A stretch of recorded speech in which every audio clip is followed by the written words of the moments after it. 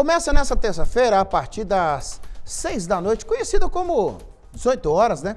A nona semana de economia da UFJF, Universidade Federal de Juiz de Fora, campus Governador Valadares.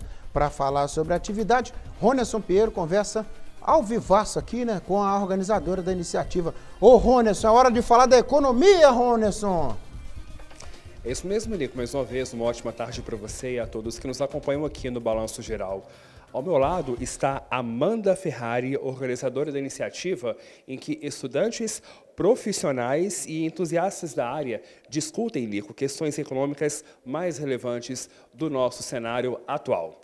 Amanda, uma ótima tarde para você. Obrigado por conversar conosco. Vou começar perguntando para você, Amanda, o que é a nona semana de economia promovida pela Universidade Federal de Juiz de Fora, a UFJF, e quais serão os temas abordados?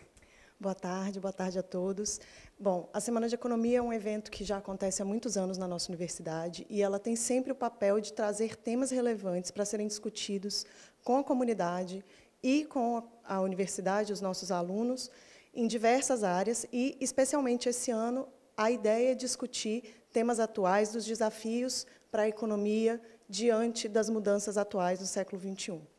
Então, diversos temas serão abordados, como mudanças climáticas, meio ambiente, empreendedorismo, é, também questões locais aqui de Governador Valadares. Né? Então, vamos discutir temas pertinentes ao desenvolvimento econômico de Valadares e vários temas relevantes para a economia atualmente. Por falar então nos temas, vamos falar da programação. A programação começa hoje às, 6 horas, às 7 horas com a abertura de uma mesa, com a abertura de uma mesa redonda, na verdade. Além disso, o evento reúne um time de pesquisadores, entre eles Fernando Holanda Barbosa, mentor de vários ministros da Fazenda e também de presidentes do Banco Central. Fala um pouco para a gente a respeito. Isso mesmo. Hoje a gente tem uma mesa redonda que vai discutir a macroeconomia e contamos com a presença não só dos nossos professores e pesquisadores aqui da universidade, mas também do professor Fernando Orlando Barbosa, que é um nome muito importante da economia nacional, né? um professor que está aí em atividade, publicando e sendo mentor, como você mencionou, há muitos anos, trabalhou no governo de Itamar Franco como secretário e é um professor atuante em pesquisa na área, na Fundação Getúlio Vargas, no Rio de Janeiro, e veio prestigiar o nosso evento e falar um pouco para os nossos alunos e para todos que participaram. Além do dia 26, que é hoje a abertura, o que está programado para os dias 27, 28 e 29 de novembro, nessa Semana da Economia? Então, hoje nós temos a, o credenciamento e a abertura, a partir das 18 horas, é, e a partir de amanhã, durante todo o dia, várias mesas, eventos, palestras e minicursos ocorrerão ao longo da semana, com presença de profissionais locais, então professores aqui de Governador Valadares, pesquisadores aqui de Governador Valadares, também empresários de Governador Valadares e profissionais especializados de fora que estão vindo para discutir com a gente. Então, amanhã, a partir das 8 da manhã até as 19, o último evento da noite, né?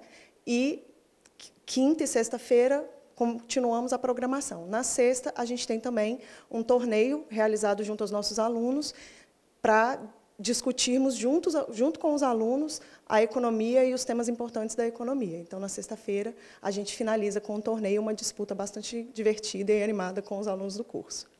Além de abordar questões ligadas ao contexto valadarense, o evento ele também traz desafios sobre a sustentabilidade, não é verdade? Isso mesmo. É, um dos temas que a gente colocou como fundamental para esse ano é a discussão sobre meio ambiente, sustentabilidade e todas essas mudanças climáticas que nós estamos enfrentando. Então, a gente também vai discutir isso é, na quinta-feira, em uma mesa especial com professores também especializados no tema, nós vamos discutir isso em uma perspectiva de quais são as, a qual é a participação da economia e como a economia deve discutir o problema para o futuro e para pensar num mundo mais ambientalmente equilibrado. Então, para a gente encerrar, por qual canal o pessoal de casa pode se inscrever? Vocês podem se inscrever pelo site da Semana de Economia. Lá vai ter o link de inscrição e todas as informações com o local, que é o ufjf.br semeco.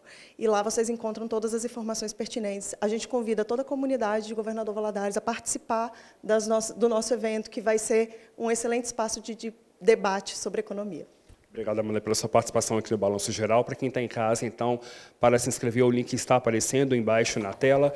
E o endereço né, para todo, esse evento é na rua 7 de setembro, número 300, próximo ao GV Shopping.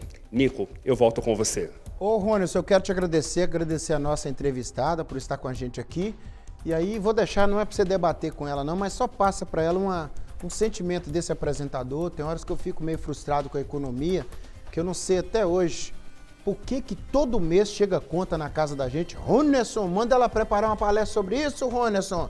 Diga não às contas. Um abraço, Ronesson. Tamo junto. É o Ronesson, tá lá pensando. É, não é isso, Lamonier. Todo mês chega conta, na sua casa chega? Ó, oh, um, não, chegou ontem.